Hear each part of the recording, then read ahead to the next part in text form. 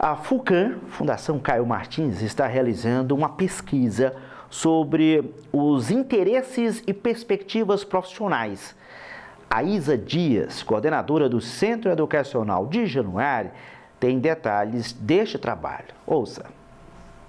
A gerência educacional da FUCAM está realizando essa pesquisa para que nós possamos ter acesso aos interesses e perspectivas dos ex-alunos dos cursos técnicos do ano de 2021, 2022 e 2023.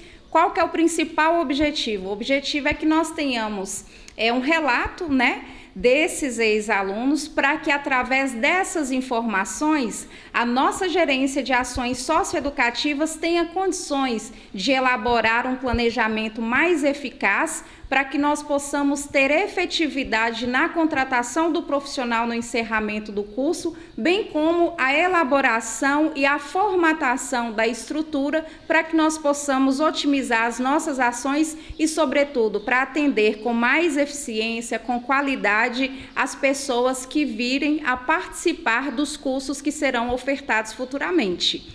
É extremamente importante que os ex-alunos façam a gentileza de verificar na caixa de e-mail.